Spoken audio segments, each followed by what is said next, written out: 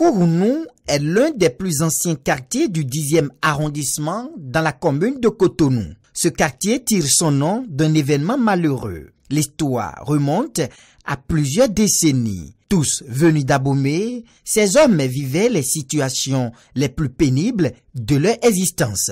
Et c'est pour mieux connaître ce quartier que votre magazine de culture, C'est mon quartier, vous amène à sa découverte.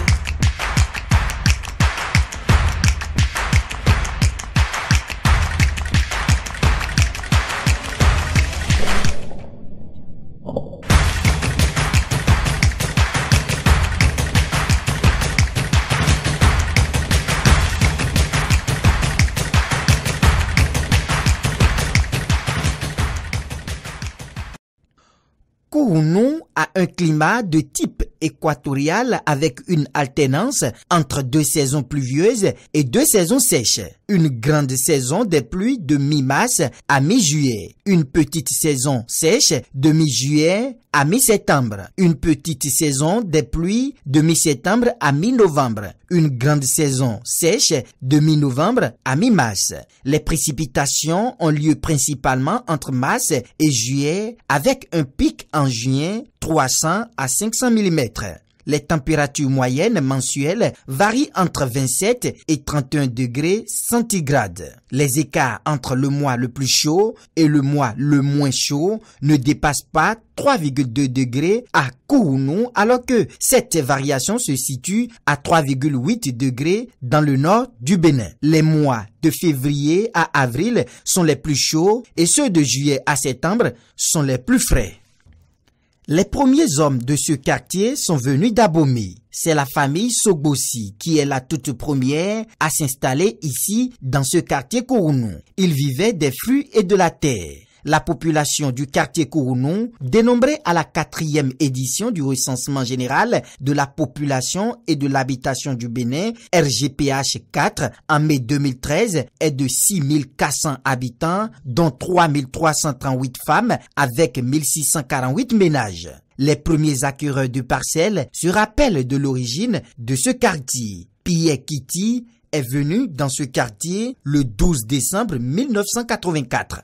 Euh, entre-temps, il y a la transition entre le lac d'Okwe et Bégal. Donc ils vont aller vendre et retournent la nuit. Et quand ils retournent, des fois, les bateaux là, on trouve euh, des cadavres. Si ce n'est pas un, peut-être euh, c'est deux. Et le plus souvent, ça attaque les femmes. Donc, mystérieux, les gens croyaient que c'est quelque chose de mystique. C'est là les, vieux d'entre-temps, les vieux de cette vie de Kourounou et de Ménotel à ce sont regroupés disent la mort qui tue chaque fois ici, là, on va chercher cette mort-là et retrouver. Ils se sont formés, se sont entendus, et ils ont commencé à monter, une brigade de nuit. Et deux jours, après trois jours, ils ont capté les auteurs. Les auteurs qui menaient ce désastre-là la nuit. C'est là qu'ils ont pris ces gens-là et allé déposer à Calavi une histoire que confirme comme Yves Christian Nidokbou qui fréquente ce quartier depuis plus de 30 ans. Il est l'actuel chef du 10e arrondissement de Cotonou. Kourounou est sous sa tutelle. J'ai mené une petite enquête pour avoir des informations concernant le nom. Et par rapport à ces informations, comme le dit le nom même, Kourounou. Kourounou, la mort a tué la moi tué, le nom là vient tout. Dans le temps, la zone de Kourounou était une zone fréquentée par des délinquants, des hors-la-loi. Vous-même, vous le savez, il y a de cela des années, euh, la dame Thérèse, qui a été abattue au temps de la Révolution, avec ses complices nous avons lu dans les journaux qu'il y a un délinquant qui s'est réfugié dans la zone de Kourounou et qui a été arrêté par la suite. En menant nos enquêtes, nous avons su que c'était une zone où les délinquants attendent le soir, quand les mamans, nos soeurs, reviennent des marchés avec un peu de sous, ces délinquants essaient quand même de leur couper la voie pour s'en procurer de leurs sous. Et par la suite, celle qui repousse, soit on le tue, soit on le coupe l'un de ses bras. C'est ce qu'il y a l'habitude de se passer dans le quartier D'où une dame, une dame du nom de Asiba était arrivée dans le quartier de Kouroumou. Mais lui, il a un fils aîné dont elle a fait appel. Le fils aîné, arrivé dans le quartier, a essayé de comprendre ce qui est à la base de ces morts qui se répètent chaque jour dans la zone. D'où son fils aîné a décidé de faire, d'organiser euh, la sécurité nocturne pour appréhender ces délinquants qui ont l'habitude de, jouer ce rôle-là. Ils ont monté la garde et aux environs de 1 heure, 2 heures, ils ont pu attraper ces hors-la-loi qui opéraient dans la zone. Et par la suite, lui-même, il s'est donné un surnom du nom de Zanko l'enclos, c'est-à-dire dans Kourounou, vous pouvez circuler de jour comme la nuit sans être inquiété par les malfrats. D'où le nom de Kourounou. Jérôme est un descendant de la première famille installée à Kourounou, la famille Sogbosi. Il est né et a grandi dans ce quartier et ceci depuis 53 ans. Il se rappelle l'histoire.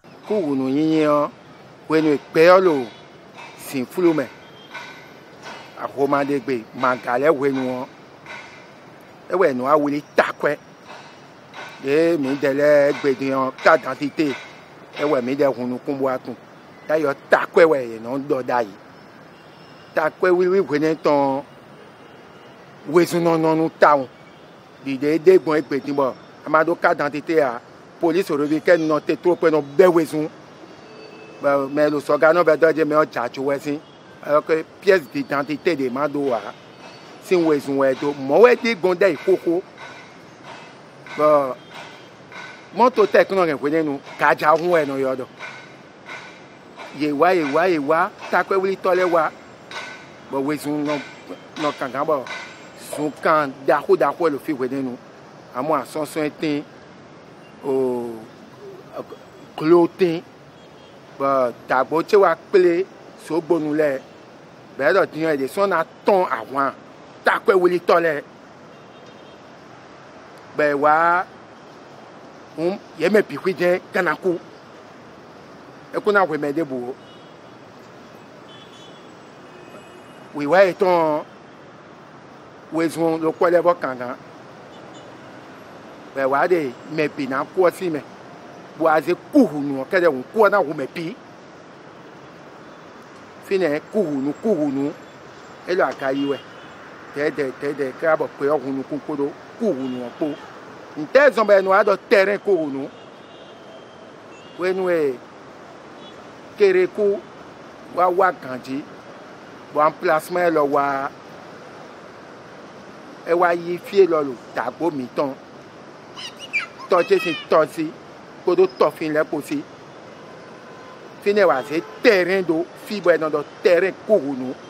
Les maisons y étaient construites en terre cuite. Les hommes naissaient à la maison et étaient inhumés jusqu'à Abomé, leur localité d'origine. Les Sobossi ont installé une divinité protectrice dans ce quartier, le vaudou Sakpata. Sakpata, vaudou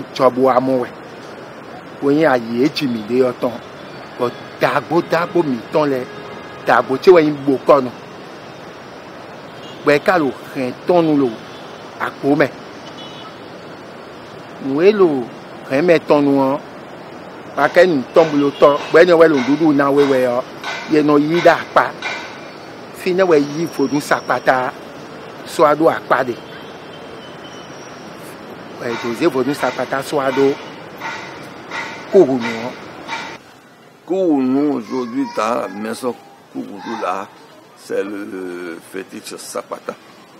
À Kourounou, la tradition reste omniprésente. Les cérémonies de naissance et de décès se font comme auparavant. Jérôme Sobossi conserve toujours la tradition.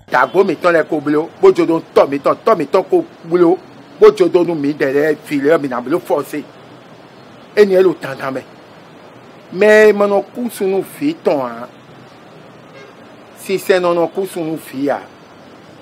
kan kónú akó èmi ló yọ pẹ̀tọ́ ló yọ fògbèjì gbónú do problem nù lẹ́kọ̀ọ́ wá fi. Mú dọ̀. Èmi dza nà dúdú fòdú tán. Ewé tso ẹ̀mi mi. Nù yìí mú nù yọ lọ.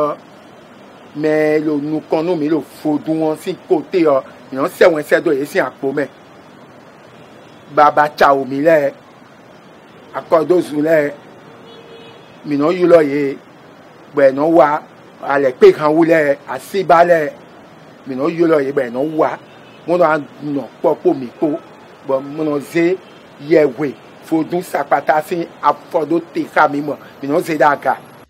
Le plus grand stade du Bénin est situé dans ce quartier, le stade de l'amitié de Kourounou à Cotonou. Construit en 1982 avec des capitaux chinois, en 2018, il est en cours de rénovation. C'est ici que la Fédération nationale d'athlétisme a établi son siège, mais temporairement. Ce stade abrite des rencontres de football, mais est aussi équipé pour héberger des compétitions d'autres disciplines sportives comme des meetings, d'athlétisme et autres. Le stade de l'amitié a une capacité de 20 000 places. Le commerce demeure la principale activité génératrice de revenus malgré l'absence de marché dans ce quartier. Les habitants de Kourounou aujourd'hui ont accès à l'eau potable et à l'électricité. On y retrouve également des infrastructures routières de très bonne qualité. Un poste avancé de police républicaine est implanté dans l'enceinte du stade de l'amitié Kourounou. Ce quartier n'a pas de cimetière ni de centre de santé. Il bénéficie de deux écoles primaires et d'un collège d'enseignement général qui porte le nom de deux quartiers, Kourounou et Vedokor. Les habitants reviennent ici sur les besoins urgents de leur quartier.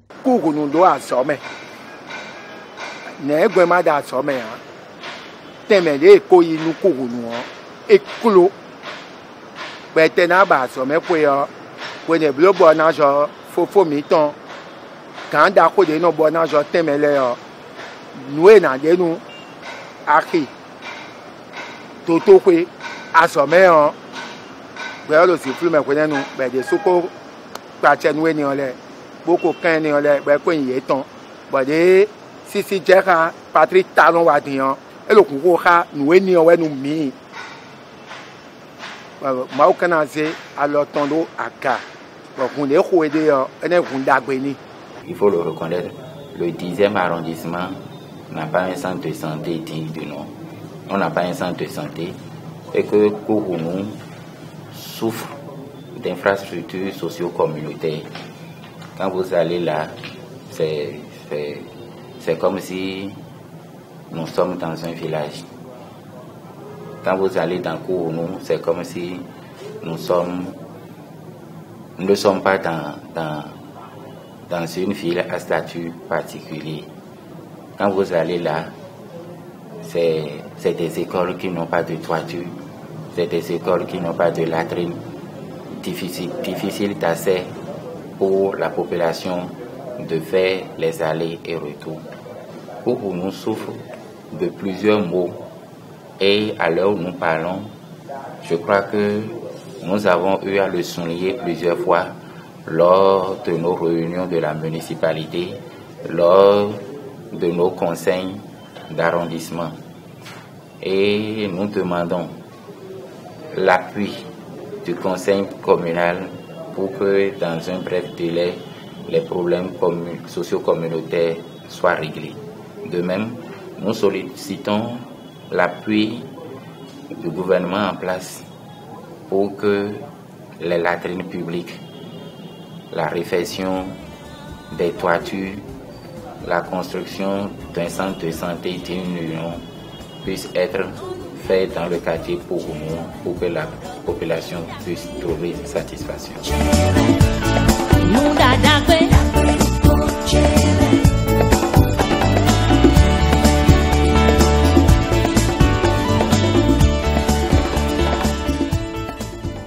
C'est la fin de ce numéro de votre magazine de culture C'est mon quartier.